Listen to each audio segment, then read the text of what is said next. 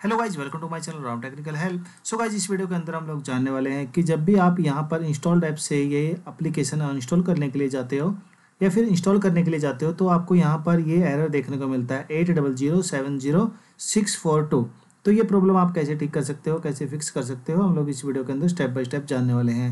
So guys अगर आप मेरे चैनल पर नए हैं और पहली बार आए हैं प्लीज़ सब्सक्राइब माई चैनल इस बहुत सारी वीडियोज़ आपको यहाँ पर मिल जाएँगी, चाहे वो लैपटॉप डेस्कटॉप यूट्यूब या फिर किसी भी सॉफ्टवेयर में, किसी भी टाइप का आपको कुछ भी प्रॉब्लम आ रहा है तो गाइज़ आपको यहाँ पर हर टाइप का वीडियो मिल जाएगा। तो गाइज़ पहले मेथड के अंदर आपको क्या करना है, यहाँ पर आपको टास्क बार पर राइट क्लिक करके टास्क मैनेजर के अंदर चले जाना है। इसके बाद गाइज़ आपको यहाँ पर रन न्यू टास्क का एक ऑप्शन मिल जाएगा, यहाँ पर क्लिक कर दीजिए। यहाँ पर आपको टेक्स्ट बॉक्स के अंदर लिखना है R E G E D I T और ये चेक बॉक्स आपको चेक कर देना है और इसके बाद आपको यहाँ पर ओके बटन पर क्लिक कर देना है। यहाँ पर गाइज़ आपको क्या करना है? आपको एक लोकल मशीन ऐसा कुछ की मिल जाएगा। आपको यहाँ पर क्लिक कर देना है इस की के ऊपर। इसको एक्सपेंड कर लीजिए। सॉफ्टवेयर पर आपको क्लिक कर देना है इसके बाद। इसको भी एक्सपेंड कर लीजिए।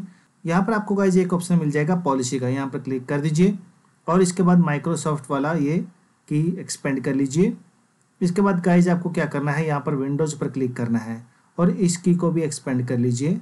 आपको यहाँ पर एक इंस्टॉलर का एक ऑप्शन मिल जाएगा इसके अंदर, जैसे कि यहाँ पर ये दिख रहा है।